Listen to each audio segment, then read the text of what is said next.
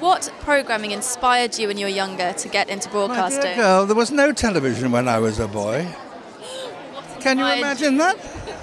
I can't imagine that. Yeah, well, there you are. That's What the way it was. inspired you? Like What? for every generation, you've been such an inspiration. So what was it that ultimately made you want to become, uh, you know, a broadcaster? I didn't want to become one. I came one by accident. I was. Uh, I wanted to be a biologist, uh, which is what I was briefly by education, but um, eventually I uh, became a producer of television programs, which was fun. And tonight you're giving out the special award Yeah. prize, very prestigious. What advice would you give the children, the young actors, and people here this evening to achieve the longevity that I've you no have? idea. I mean, television is changing so fast. I mean, kids now uh, are looking at television in so many different ways. And when I, when I, I said when I was young, I wasn't any at all. Um, and so I don't know what's happening. In another 10 years, who knows? We'll see what happens. Can I very quickly ask, when will we next see you on our screens and what are you up to at the moment? Only too soon. Only too soon.